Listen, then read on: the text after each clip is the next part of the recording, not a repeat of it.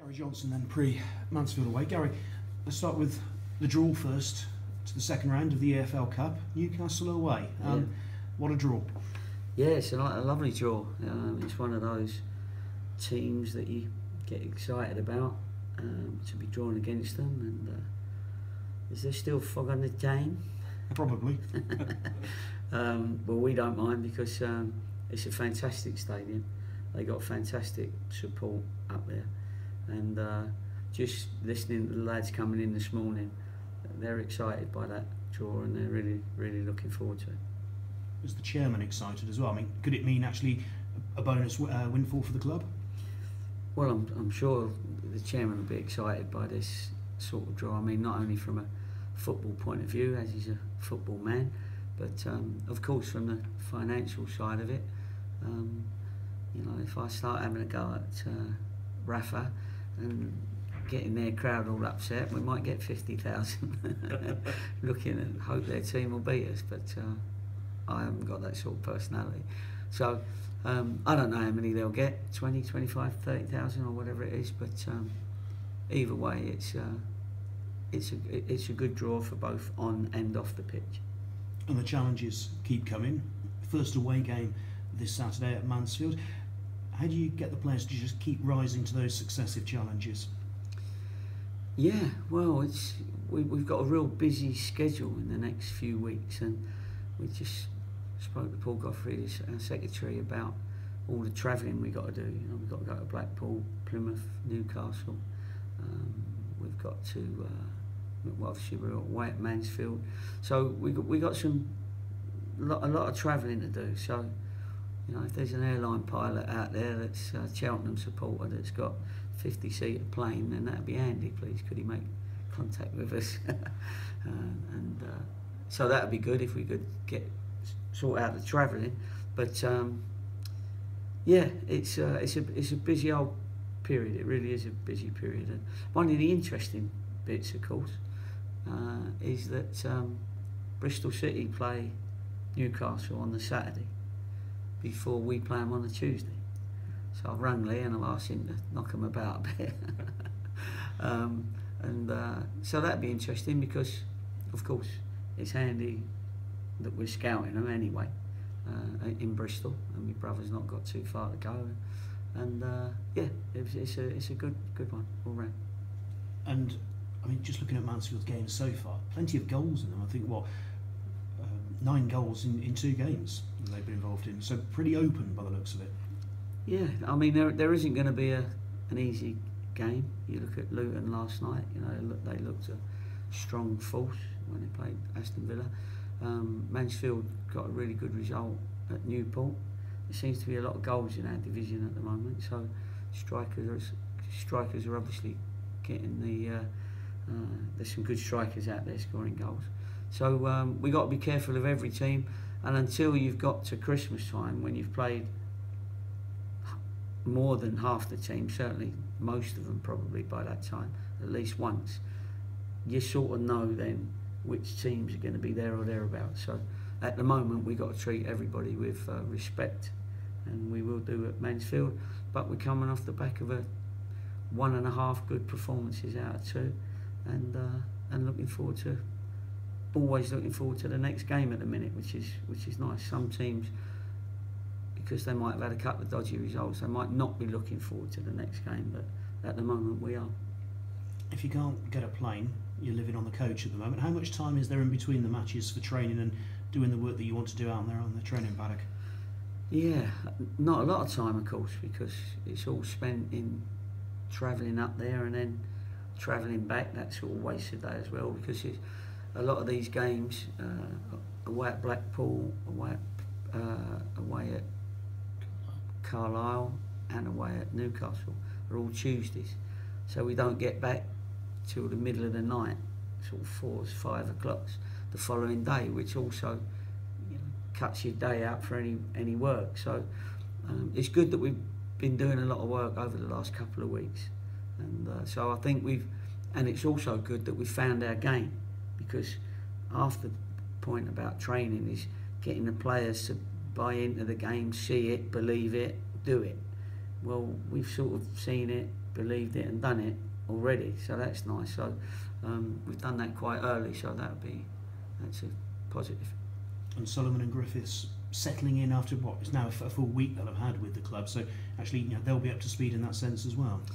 Yeah, they will. Um, and I, I saw by both their reactions and chats that they have with you, they're immediately into our psyche, which is good, and into our uh, the way we think um, and our philosophy. That's uh, important as well, and and both enjoying it, and that's a good thing. And we're keeping in touch with both Everton and Aston Villa. They've been watching the two lads as well, so they know they've got to impress their own people as well as us and uh, it's working out well at the moment. Early days. I don't know if you know this, but back in 1999. I 1999, know everything. What's sorry, right, well, you'll know then, back in 1999, Oh, yeah. Cheltenham, their first win in the Football League was away at Mansfield, their first away game. Be nice if you could get the symmetry going yeah. again. Yeah, I didn't know that. Uh, Thought you knew everything. yeah, I, I thought I did as well. Um, well, you know, football's got a funny way of sort of bringing up these idiosyncrasies sort of thing. And here's another one, but as long as I don't ask my lads the same question, and I don't think it'll bother them, um, we'll just go into the game. It's another game, um, and uh, I won't tell them about the history. It's about the here and now and, and the future. Go out of that one then. Well done. Uh, squad wise, anyone coming back from the injury list? Anyone sort of, hopefully not anyone new on it? No, I think a few of them have got a, a week or so left yet, so there won't be any anybody new yet um, on the pitch or on the bench. I, I, I may um, change one, two, or three. You know, the three pros that have come on. They they haven't done anything wrong that were on the bench against Charlton. I took liberties with them really because I don't really like doing that, but we we saw out the last sort of five minutes with our substitutions, even though I put them all on at the same time. I didn't want to really take liberties with everyone and, and do it every 10 seconds in, in the last, but um, because I didn't want to break it up for us because we were still going okay at the time. Um, so, yeah, there's, there's 14 players plus the three young lads that are getting experience at the moment and uh, that, that we'll be selecting from. Thank you, good luck. Thank you. Tuesday night, you said the midfield absolutely dominated the game. How pleasing is that, given Munns, Storer, Dayton, and Hall aren't, aren't in the end? Yeah, well, it's well, it's very pleasing because it means that, um, I mean, they they more or less played a three in there anyway against our two, and I thought Pelly and uh, Benny Whitehead were, were fantastic on the day. But I also thought, and this is where you get the numerical advantage, Billy Waters on the right and uh, on the left. I thought they worked their socks off, both of them, and, then, and both of them their preferred position is obviously up front. So the, the the mentality to put in that work rate was terrific, really, and I, I thought both of them played well as well. They both got back in because they had to. Um, Charlton liked to have lots and lots of passes, but we created more opportunities and obviously scored the one that we needed to score to make it one 0 So um, I thought we had, we we won a lot of ball in that middle third. Not it's not just the midfielders; it's that middle third, and that was our defenders as well, winning headers and etc.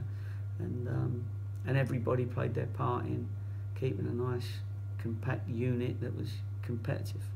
How pleasing was a clean sheet then for the uh, for the new back five, as it were? As Yeah, well? very very pleasing. Um, I think they had one stat show one shot on target, so in open play. So that's good. That, you know, I mean, I can get upset about the one shot, but that'd be over the top really.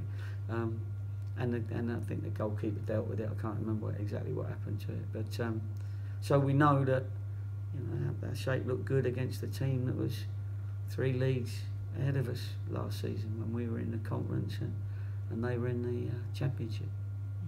Away games at the end of last season, you changed the, the, the team around a bit just to get you on the on the front foot. Is that something you're likely to repeat this season, or is it a case of that that, team almost picks itself after Saturday? Yeah, I'll, I'll, I'll judge it. I mean, I obviously uh, part, party to more information than you people. I know the ones that have got little knocks or got a little problem at home or, or something, you know, that are not quite up for it on the day.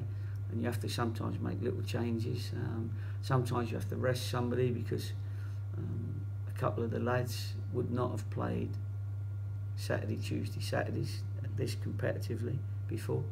So you have to look at all, all those things. So it's not an actual uh, policy that I use that I'm going to change. So there's got to be a reason for it. And if there's if there's no reason and everybody's okay and it's going well, then you know don't change something that's broke sometimes. What's the, uh, the, the It's two not players? broke. It's yeah. not broke. What's the two players this after after Tuesday game? Is all that's missing to make this a really good start to the season? Just a league win now, given the two performances in the two Yeah, games. well, it's still early. We've only played one league game, Yeah. and, and that was against one of the favourites. So we're, we're we're happy. Don't try and drag me down yet. I Um, was trying to be positive. yeah, I know, I know. It's um, so yeah. It's, it's the sooner you get your first win, the three points becomes massive because you don't want the even on a point. If you don't get your three points next game, then you you're chasing a little bit the teams that might have won twice. Suddenly, if you get beat, you're five points behind after two games. You know? So we got to make sure that um, you know we're, we're in there battling. So every point now is is very very big. Must be good to hear Every win. Harry Pell talk about two points a game and being bang on bang on target. That message stuck from last season. Yeah, no, it's good. I mean, they all they all talk our game, and it's a it's a language that when you start hearing the older players, obviously that have been here longest, we know that they talk like that. And but we need when I hear the new players using our phrases and sayings and and uh, talking with that sort of confidence that they know what they're doing, then um, I know we've got through to them. And, uh, we've talked about it before, and it's a form of brainwashing, Yeah. hypnotism. Are they still allowed to call each other champ? No, no, I don't think they call each other champ anymore. It's um, they might do, you know, when they're in their, each other's houses when they're out of the club. But no, no, that's calmed down now. We've got a job to do now, and you, know, you can't be champs forever. You know, you've got to be careful that you're not chumps. Just got to win it again and be champs. Yeah, that'd be good. Yeah, well, they've had the feeling, so if they've had the feeling of that winning, then that's that's always good, and I'm always pleased to give lads that feeling of winning a long, hard championship because they know what goes into it now and what they've got to do again to do the same. Excellent. Thank you.